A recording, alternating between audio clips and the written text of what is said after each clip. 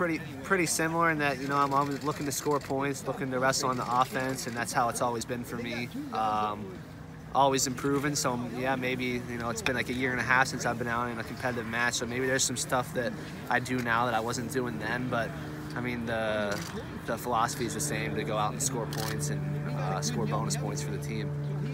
Why do you think you guys could maybe win a national title this year? What gives you that guy's confidence?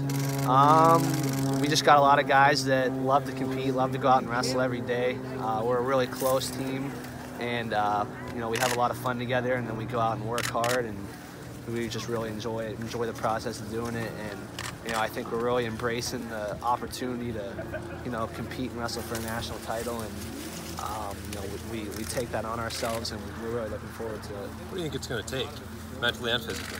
Um, I think it's going to take wrestling hard in all positions, like our coaches uh, tell us. They, they coach us to be well-rounded wrestlers and uh, wrestle every second of the match, and that's what we're going to have to do. We're going to have to wrestle every second, and um, no matter whether we're up by 10 or down by 10, you know, if we do that and stick to what we do and what we know how to do, then um, you know the points and the, the titles are going to take care of itself.